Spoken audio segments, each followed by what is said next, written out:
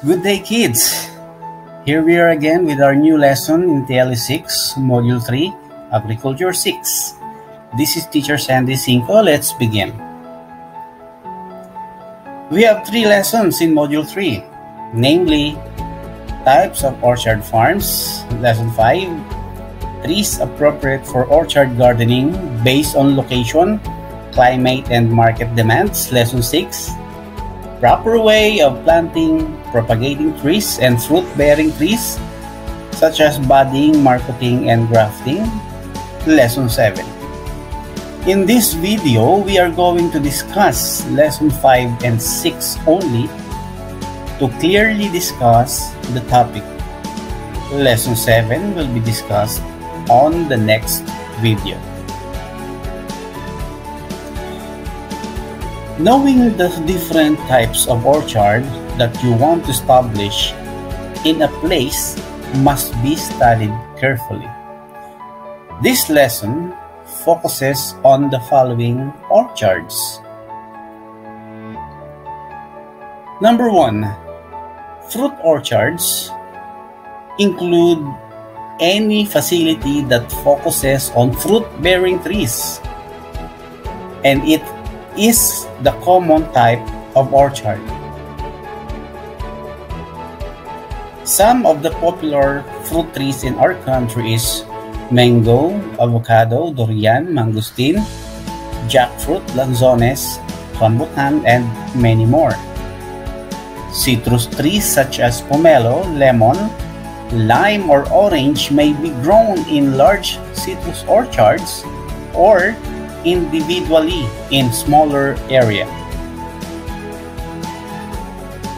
Number 2 nut orchards include all facilities that focuses on nut bearing trees. The tree nuts that are popular in our country are cashew nuts and pili nuts.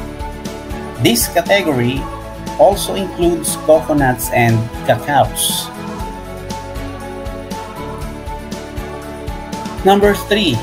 Seed orchard is an area where superior quality of plant trees are established and managed intensively and entirely to produce large quantity of improved seeds.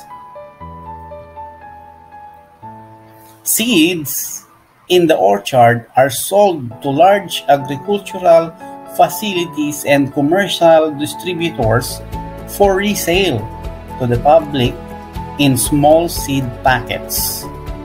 The size of the seed orchard is determined by the seed demand and the expected seed production from the orchard. We have various types of orcharding. So what is orcharding first? Orcharding is defined as cultivation of orchard, maybe fruits or nuts or others.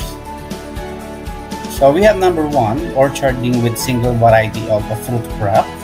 Number two, orcharding with different variety of fruit crop.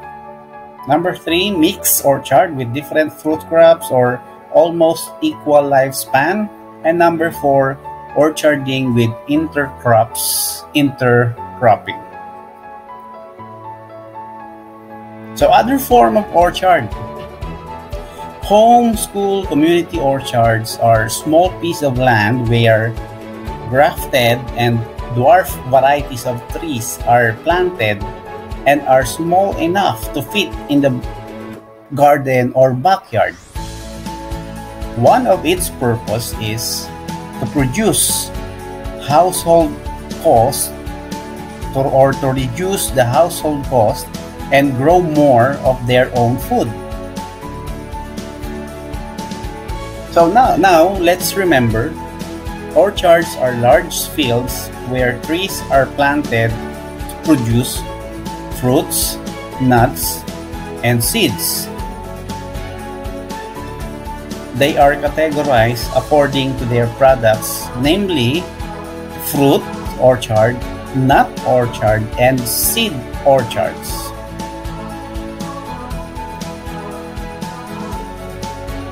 Home or backyard orchard is an orchard that is maintained in a small piece of land and grows different varieties of dwarf and grafted trees to fit in.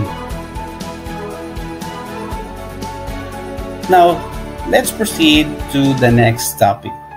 So, this is lesson 6 trees appropriate for orchard gardening based on location, climate, and market demands. Trees and fruit-bearing trees do a better job of saving us money, providing shade, reducing noise, and even saving our lives from calamities. Establishment of an orchard is a long-term investment and requires a very critical planning. The selection of proper location, climate condition, and market demands must be considered first. We will explain these three considerations. So the location, climate condition, and market demand. Let's start with location. Picking the right tree for the right place is very important. Trees will be more productive when they are planted in a place suitable for them. Topography affects plant growth through differential incidence of solar radiation, wind velocity, soil type, temperature effect, and even the level of the sea.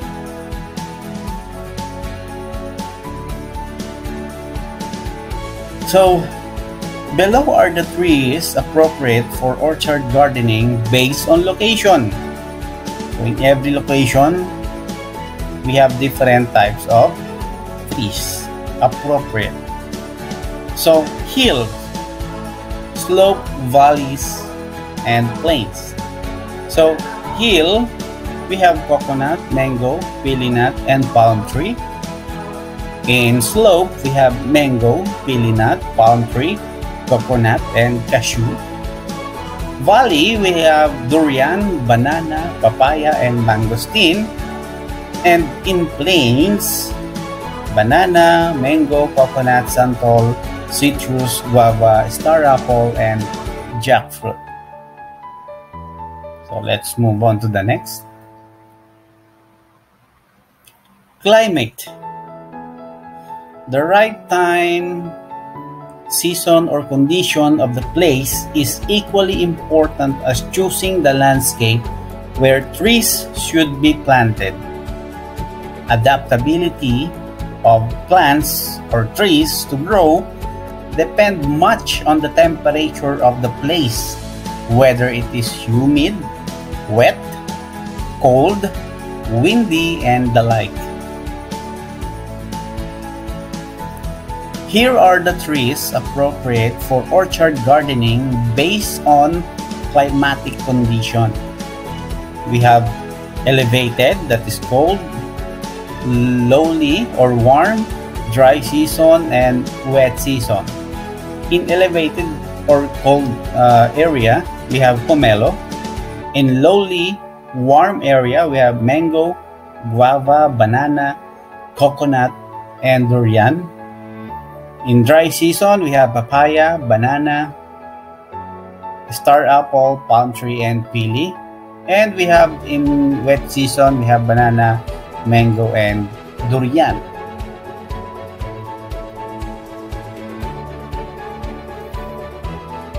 Letter C for market demand. This is something to consider, especially when an orchardist is inclined to business. He must have an idea of the fruits desired by many people in all occasions availability of fruits in different locality, fruits in season, and even pricing for him to have a better profit.